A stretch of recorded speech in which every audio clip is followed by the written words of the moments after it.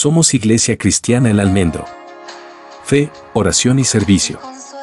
Cuando vemos aquí la escritura, encontramos que estas dos parábolas que de pronto usted lee, ay, sí, tan bonito, es como, como un tesoro en el campo, tan bello. Y no entendemos que es semejante a por qué. ¿Por qué está buscando una semejanza? Porque en nuestro corazón no entendemos que el reino de Dios está entre nosotros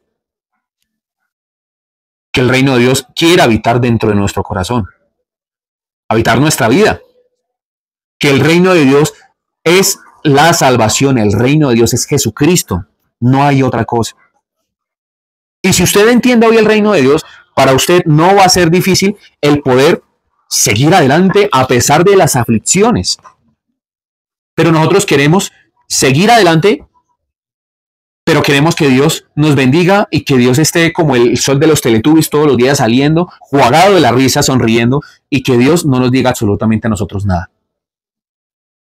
Y que añada riqueza sobre riqueza, bendición sobre bendición.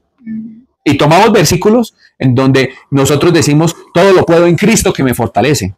Pero ¿qué es estar en Cristo? Estar en Cristo es vivir para el reino. Amar la perla preciosa, atesorar el tesoro que se encuentra, que no es dinero, porque de verdad de estos dos versículos, de estos tres versículos, el del campo y de la perla, he encontrado cualquier cantidad de predicaciones de la prosperidad. Entonces, haya en vosotros ese mismo sentir que hubo en Cristo Jesús.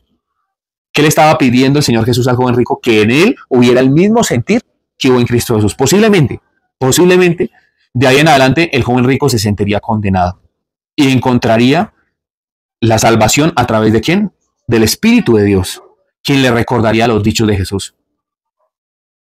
Entonces, yo le pido a usted que se dé una oportunidad verdadera con Dios, que no tenga una fe fingida y esa fe no esté fundamentada en lo económico, en lo sentimental, en lo emocional, que su fe sea una fe auténtica, es una decisión y es algo que Dios le da a usted para que usted elija dentro de su libre albedrío. Obviamente, Dios nos ayuda en nuestra debilidad y el Espíritu Santo de ahora gime ante el Padre con gemidos indecibles, diciéndole al Padre, guárdalo, mire, guíelo por este lado, por favor, darle a entender a él la revelación del Evangelio, muéstrale. Pero si usted no coge una Biblia, si usted ni siquiera ora, ¿cómo va a poder entender?